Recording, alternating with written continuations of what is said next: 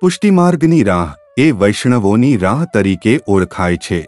પરંતુ પુષ્ટિમાર્ગમાં પૂછો કે વૈષ્ણવ કોણ છે, તો એ પ્રશ્નનો જવાબ કદાચ આપણી પાસે નહીં હોય.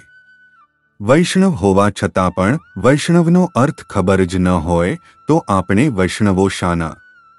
વેદોમાં કહ્યું છે કે ભવસાગરમાં અટવાયેલો જે જીવ, તન, મન અને ધનનો સદુપયોગ ભગવત સેવા અને ભગવતજન પાછળ કરે છે. તેવો જીવ વૈષ્ણવ કહેવાય છે. ઉપનિષદમાં કહે છે કે જે હર્ષ અને શોક, સુખ અને દુઃખથી પર રહીને સર્વત્ર પ્રભુને જુએ છે, દેહ ઇન્દ્રિયોના ધર્મમાં મોહ પામતા નથી, જેમને જન્મ, કર્મ, ધર્મ, વર્ણ, જાતિ વગેરે વિશે અભિમાન થતું નથી, જે સર્વે જીવો પ્રત્યે સમદૃષ્ટિ રાખે છે, જેઓ પ્રભુ અને ગુરુના ચરણોમાં એક સમાન નિષ્ઠા રાખે છે. જેઓ ભગવદીઓ પ્રત્યે સ્નેહ રાખે છે, તેવા જીવોને વૈષ્ણવ કહેવાય છે. ઈશ્વર સંહિતામાં કહે છે કે જે જીવ ભગવાન વિષ્ણુ અને ભગવાન કૃષ્ણ વચ્ચે એકેશ્વરવાદને માને છે, તે વૈષ્ણવ છે અને તે એકેશ્વરવાદ મુજબ ભગવાન વિષ્ણુ અને ભગવાન કૃષ્ણ વચ્ચેના સામયને માનનારમાં સંસારી જીવ તથા કૈલાસવાસી ભગવાન શિવ પણ શામિલ થઈ જાય છે. આથી એમ કહી શકાય કે ભગવાન શિવ પણ વૈષ્ણવ જ છે.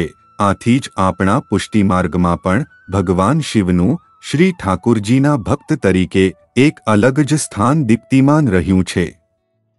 બીજા શબ્દોમાં કહીએ તો વૈષ્ણવ માન્યતા ધરાવતા દરેક સંપ્રદાયમાં ભગવાન કૃષ્ણને જ આરાધ્ય દેવ ગણવામાં આવે છે. આથી તે ભાવને અનુરૂપ ભગવાન કૃષ્ણને સંબંધિત જે ભક્તો રહેલા છે તે તમામ વૈષ્ણવો રૂપે જ રહેલા છે. શ્રીમદ ભગવદ્ ગીતામાં વૈષ્ણવ કોણ છે, તેના સંદર્ભમાં બે અર્થ કહ્યા છે. પહેલા અર્થમાં કહે છે કે જે જીવ, મન, કર્મ અથવા વાણી દ્વારા પણ કોઈ જીવને દુઃખ આપતો નથી, તેને વૈષ્ણવ કહે છે. અને બીજા અર્થમાં કહે છે કે જે જીવ સર્વત્રે અને સર્વજ્ઞે ફક્ત ભગવાન વિષ્ણુને જુએ છે, તે વૈષ્ણવ છે. શ્રી મહાપ્રભુજી કહે છે કે વૈ એટલે ભગવદીય ક્ષણ એટલે કૃષ્ણ અને વ એટલે વલ્લભ. જ્યારે પુષ્ટિમાર્ગની રાહે નીકળેલ પ્રવાસી ભગવદીયમાં સ્નેહ રાખે છે, શ્રી વલ્લભના ચરણોમાં સમર્પણ કરે છે અને શ્રી કૃષ્ણની સેવા કરી તેમની કૃપા મેળવે છે, ત્યારે તે વૈષ્ણવ બને છે. શ્રી ગુંસાઈજી પ્રભુચરણ કહે છે જે જીવ પોતાના માટે નહીં, બલકે બીજાના દુઃખ જાણી, અહંકાર રહિત રહી પરોપકાર કરે, તેવા જીવને વૈષ્ણવ કહેવાય છે.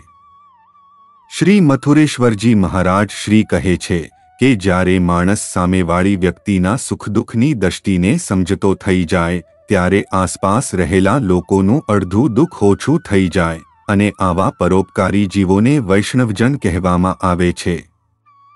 આવા વૈષ્ણવજનોના મળવા માત્રથી અન્યનું જીવન પણ સુમેળભર્યું થઈ જતું હોય છે. વિવેકધર્યાશ્રયમાં વૈષ્ણવ હોવાના લક્ષણો માટે કહ્યું છે કે જે પુષ્ટિ જીવનું ચિત્ત સદાયે ભગવત સેવા અને ભગવત દર્શન માટે આર્ત રહેતું હોય, લૌકિક કાર્યો ફક્ત એક ક્રિયા રૂપે કરે છે, પોતાની વાણી અને મનને સંયમમાં રાખે છે. પોતાના ગુરુ એટલે કે વલ્લભ કુલ આચાર્યો પ્રતિ શ્રી ઠાકુરજી સમાન અને તેથીએ વધુ ભાવ રાખે છે અને અન્ય પુષ્ટિજીવો તથા ભગવદીઓ પ્રત્યે પ્રેમથીએ વધુ વિશેષ સ્નેહભાવ રાખે છે. તે સાચો વૈષ્ણવ કહેવાય છે. શ્રી હરિરાય મહાપ્રભુજી ભાવપ્રકાશમાં કહે છે કે વૈષ્ણવ એ છે કે જે પુષ્ટિ જીવ સતત ભગવત નામનો અને ભગવતવાણીનો સતત ઉચ્ચાર કરતો હોય, જેણે પોતાનું સર્વસ્વ લૌકિક અલૌકિક શ્રી ઠાકુરજી સ્વરૂપ શ્રી વલ્લભના ચરણારવિંદમાં સમર્પિત કરી દીધું હોય, જે દિનતા અને દૈન્યતાનો મર્મ જાણતો હોય, જે પ્રભુના ચરણોમાં સર્વ સમર્પિત કરી, તેનો પ્રસાદ ગ્રહણ કરતો હોય, જે પોતાના આચાર્યની વાણીને ઉથાપતો ન હોય, જે પ્રભુના તત્સુખને અગ્રસ્થાને રાખતો હોય, તેવો જીવ વૈષ્ણવ બનવાના સમગ્ર અધિકાર રાખે છે. શ્રી હરિરાય મહાપ્રભુજી કહે છે કે વૈષ્ણવ બનવાનો અધિકાર પ્રાપ્ત થયા પછી પણ જે જીવ પોતાની દૈન્યતા, દિનતા, દયા અને કરુણાના ભાવને હૃદયમાં સ્થિર રાખે છે, સત્સંગ અને ભગવદ આશ્રય છોડતો નથી, જે સદાય હરિગુરુ અને હરિના જન પ્રત્યે સેવા અને સત્કાર્યોમાં મગ્ન થઈ જાય છે, ત્યારે તે જીવ વૈષ્ણવમાંથી ભગવદીય થઈ જાય છે. મનુસ્મૃતિમાં કહ્યું છે કે શ્રી વલ્લભ અને વ્રજમાં વસનારા વ્રજરાજકુમાર અર્થાત શ્રી ઠાકુરજીને માનનારા જીવોએ અન્ય ધર્મોનો ત્યાગ કરીને પોતાનું ધ્યાન કેવળ અને કેવળ ભગવાન શ્રી કૃષ્ણને ભજનારા ભગવદીઓ પ્રત્યે કેન્દ્રિત કરવું જોઈએ.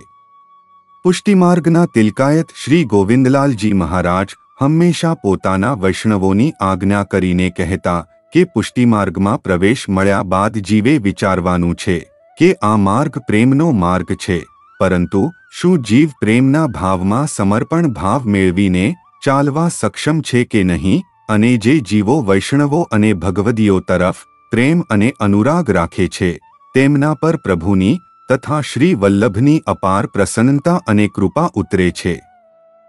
આથી ટૂંકમાં કહેવું હોય તો એમ કહી શકાય કે જ્યારે જીવોમાં શ્રી ઠાકુરજી અને શ્રી વલ્લભ અને શ્રી વલ્લભના સેવકો પ્રત્યેનો પુષ્ટિભાવ સિદ્ધ થઈ જાય છે ત્યારે તે જીવ વૈષ્ણવ બનવાની સીમામાં પ્રવેશી જાય છે.